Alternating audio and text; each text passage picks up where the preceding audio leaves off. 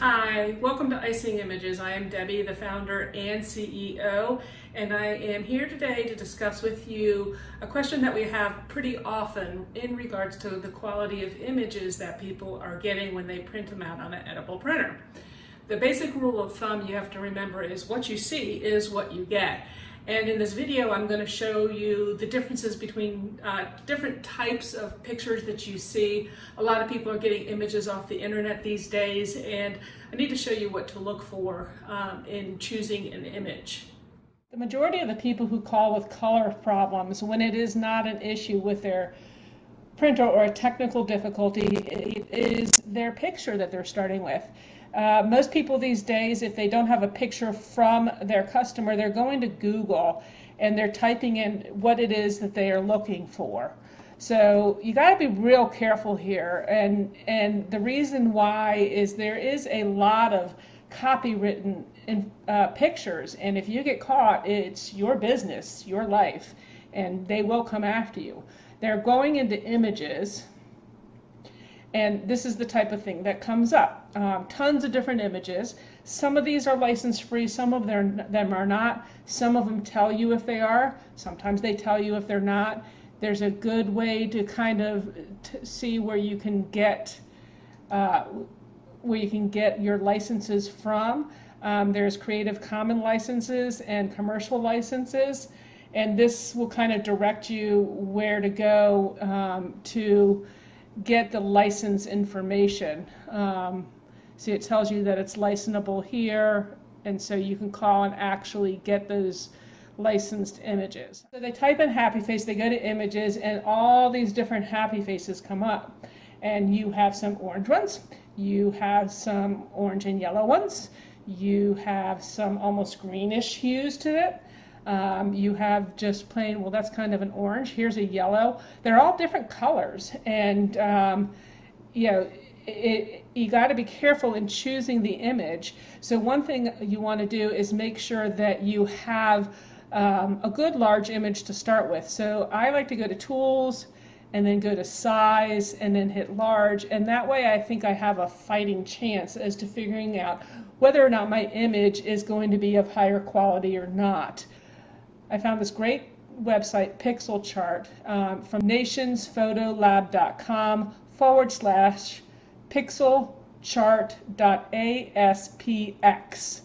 And what's nice about this is it tells you, okay, if you were looking to print out an 8.5 by 11 or 8 by 10, let's say, it tells you for the best quality, um, you should have 2400 by 3000 pixels. Um, minimum requirement is 1,000 by 1250. Um, and honestly, the minimum requirement is fine. Sometimes if it gets too big, it takes forever to, to upload your picture to iPrint or to download it to any other uh, site that you're using or, or uh, program that you're using. Now, if you scroll down and you have no idea what size your image is, you can actually go to Browse and you can pick up an image, open it up, and it tells you that that image's dimensions are 480 pixels by 480. Um, and that is useful because then you kind of know if it's within that range. There's a chart right here as well telling you the same information as above, and it's showing me that uh, the recommended size is 1000 by 1250 pixels, and so we know that this image, if I'm going to blow it up into an 8 by 10, it's going to be too small and could get pixelated. Um, and what's nice is it does tell you, you can kind of see, okay, it's 480 by 480. If I come in somewhere about a 3 by 5, the picture's fine um, if you're blowing it up. So this is a great little tool to use. Now, going back to the happy faces, so one other way that will help you to know, okay, is this image right here or right here, whichever image it is, uh, it, what size is it? If it's on Google, um, you can right click it and you can, where is it? And you can view image info. And it tells you right here the size of that image. And you can use that to bring it into the pixel chart or uh, to help guide what you're doing. Now what about uh, using a JPEG or a PNG, what's the better file to use? On iPrints, we actually do like JPEGs. PNGs can sometimes bring up that black background. It just depends on how your image is saved. Um, but JPEGs do work a little better. But the problem with JPEGs is that every time somebody opens that file and closes it and sends it to somebody else's computer who opens it and then closes it and so on, it actually diminishes the quality of that image. So oftentimes you can think you have the original file, but you've had three people look at it and it's no longer original anymore. So this going to the source is your best option. So now I'm going to go to iPrint right here. And I've already uploaded the pictures of different happy faces that I want to show you. Now this first one here, I'm going to reduce the image so I can bring it over and show you in the print area.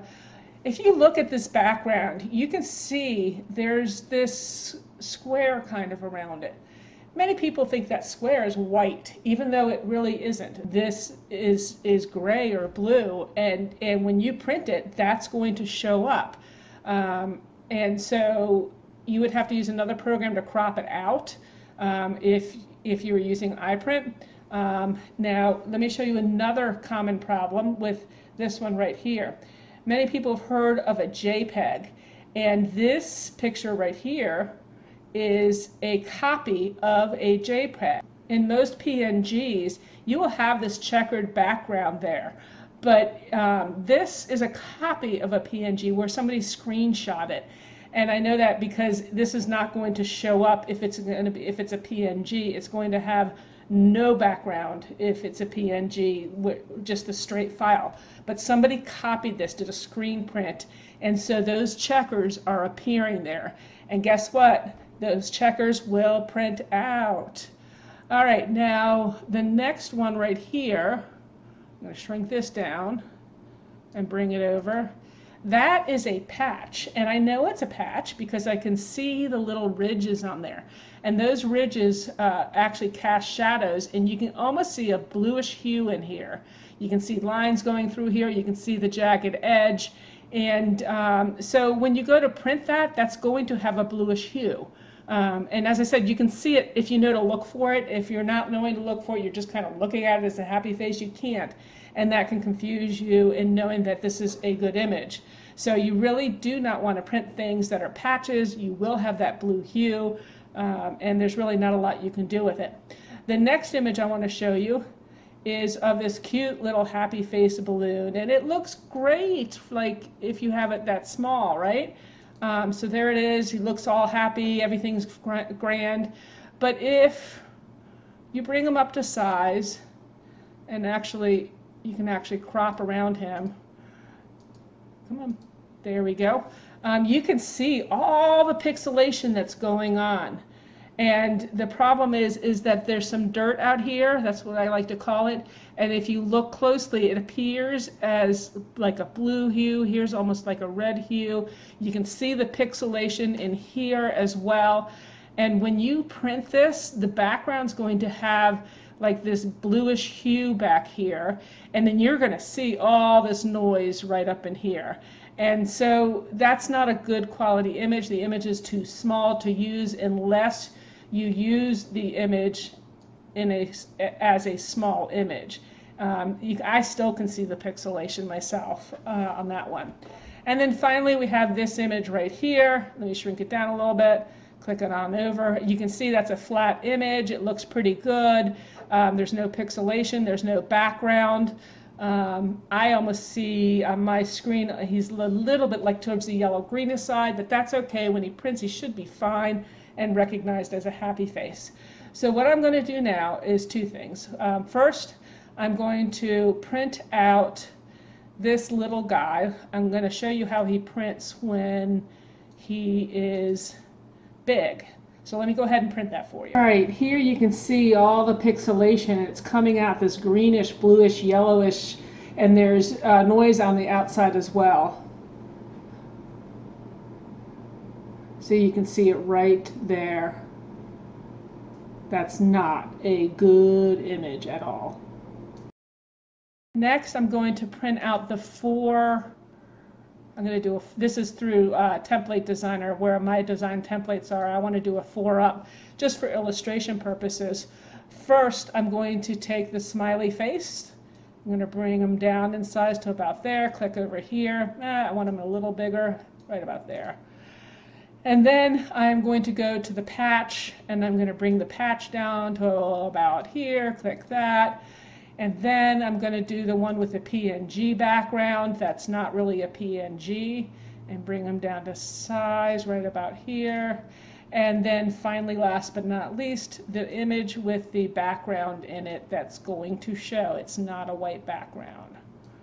And click it over here, and I'm going to go ahead and print that.